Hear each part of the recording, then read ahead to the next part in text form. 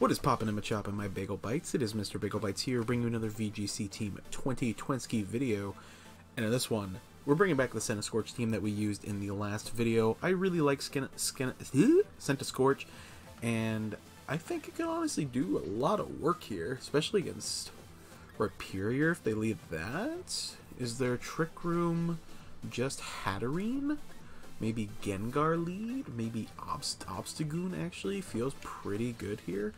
Maybe like a Clefairy Obstagoon. Actually, wait, no, it's Parfairy, so actually it's a little bit less good than I think it is. Maybe Corviknight. They don't have any Intimidate, though, do they? And then Sun could be pretty dangerous. Maybe not. They don't have anything really good for Centiskorch except the Rhyperior, which I doubt they'll lead. So maybe leading like Centiskorch, Clefairy. I think Gastrodon could be good. But I think I'm going to go Obstagoon, Corviknight in the back. Go for a little bit more of an offensive uh, presence in the late game. I think could be pretty good. But if you guys are excited for the video, make sure you hit that like and subscribe button to stay up to date on Mr. Bagel Bites content. Super helps out the channel and me, so I hope you consider doing that. So let's go ahead and see what uh what he leads here. Darmanitan coming out. Darmanitan and Hat. So what I think I'm actually going to do here is I think I'm just going to go ahead and Centiferno into the Darmanitan, try and go for the knockout here, and just go for the Follow Me with Clefairy. Because you don't necessarily want to set the Trick Room here. And if we get this Centiferno off, I'm going to feel pretty good about the rest of this game, because we're going to have a pretty good uh, matchup here. So let's uh, go ahead and Dynamax, get this up. Centiferno is such a, uh, such a good move, honestly. If they had bumped to the 160, I think this Pokemon would see more use. No Dynamax here. Gonna go ahead and follow me. Go ahead and target probably Ice... Uh, oh, Rock Slide. Ooh, that's gonna hurt. So we're gonna get this Centiferno off here. Probably pick up the KO. There we go. Super cool with that. And then they are going to go ahead and set the Trick Room. Figured, but you never know. And now he's going to take that residual damage every turn. Okay, so let's see what they send in here. They have not used their Dynamax, so that's something to keep in mind. Sableye. I go for like a Max Quake. That could be good. It's not stab though. Would Centiferno be better? Is Sableye also bound because he swapped in? I think that's how that works. He's not actually. So I could launch another Centiferno into him, but I think it's going to be better to launch that Max Quake into this slot. And go ahead and follow me again. Yeah. And then if we can start boosting our special defense with the Assault Vest, we might actually be able to outlast the, uh, the Hatterene here. Which would be pretty sweet. This is such a dangerous Pokemon. Gigantamax Hatterene. The confusion is so relevant, actually. Let's go ahead and get faked out. Figured. We might survive the Mindstorm, honestly, with the vest. Yeah, Centiskorch has really good special defense. Let's go ahead and fire this off. It is a Life Orb, too, so we know we can hit that now with, like, the Corviknight if we have to. Takes that like a champ. So we're going to go ahead and boost our Spidef. Gonna take that residual there. And then... We don't need rain up. Do we just go for the raw damage? I could fire this into the Sableye so it can't swap out. But I think I'm pretty comfortable launching off another Max Quake to boost our Spadef some more. And a Follow Me to take the Max Mindstorm. Yep. Because now we're plus one. Quash. Yep. Psychic Terrain, your your your Sableye doesn't quite work as well as you would hope. We're gonna go ahead and take that. Whew. I actually thought we'd take that a little. Ooh, that sucks. Yep.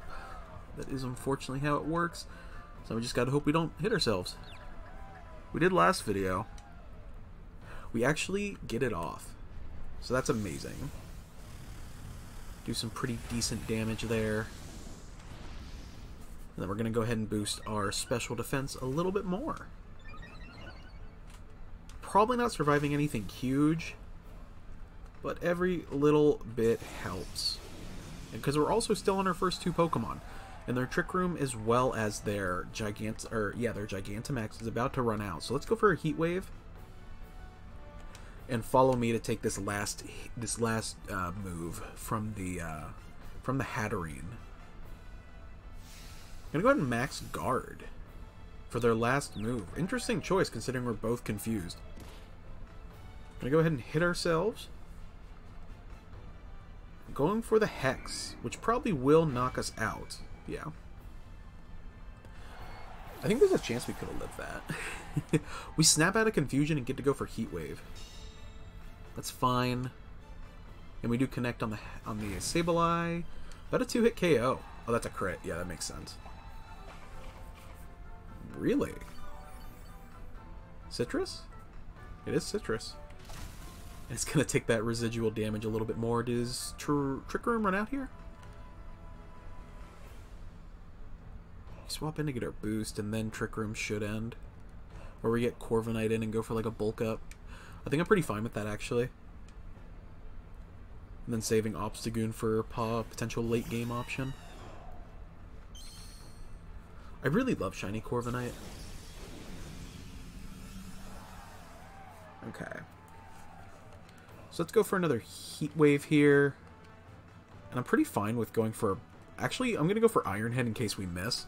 Because he just max guard, so he has a less chance of protecting here. And getting rid of the Hatterene is a pretty uh, good choice.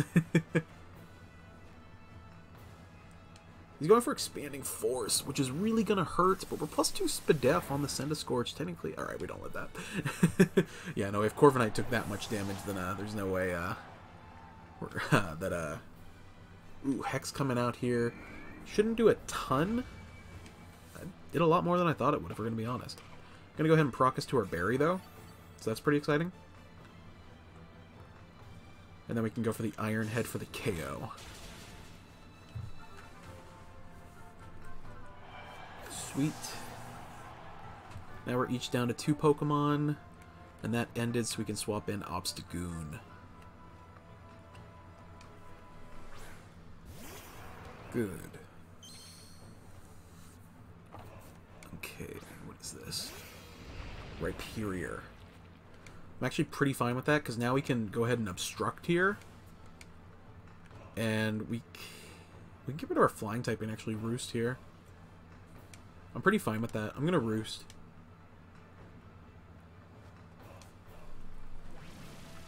Obstruct is such an amazing move, too. Yeah, you can't do that. it must have been a misclick. Roost also gets rid of our flying typing, so if he goes for like rock... Ooh, that's gonna hurt. Without the boost, though, that does a lot less damage. Also set off our Flame Orb.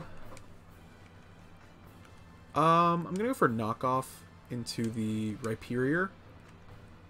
And I'm going to go ahead and roost again. Yeah. Without boost, Rhyperior still has really good attack, but it's a lot less threatening. Doesn't affect I'm a dark type. Okay, bye-bye weakness policy. We'll get off this big roost. And now we can hit it with super effective moves pretty, uh, pretty confidently. Going for Rock Blast.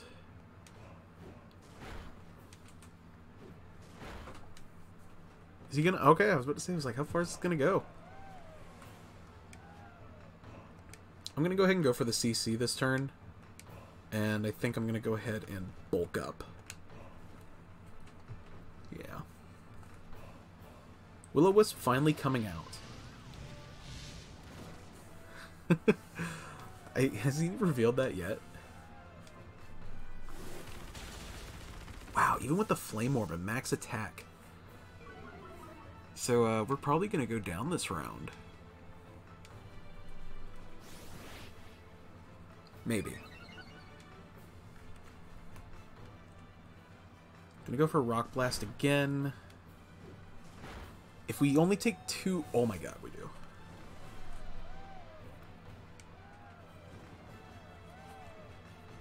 We could try and obstruct here. I'm gonna CC again. Actually...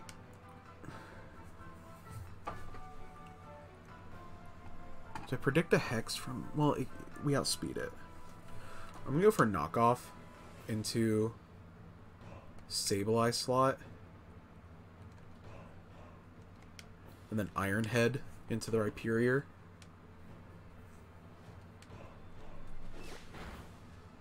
Ooh.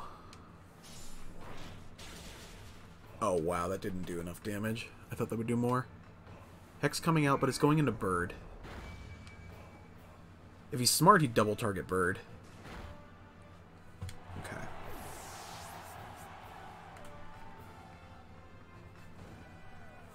Alright, we unfortunately have to go for the Iron Head this turn into the uh, Rhyperior.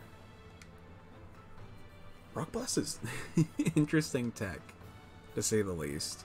If it was plus two, it'd be it'd be really threatening. All right, okay.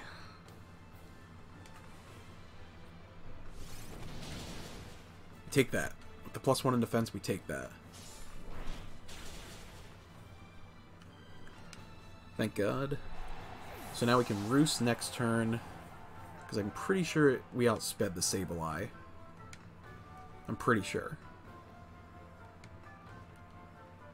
With that in mind, should we just Iron Head instead, actually? Yeah, actually we do.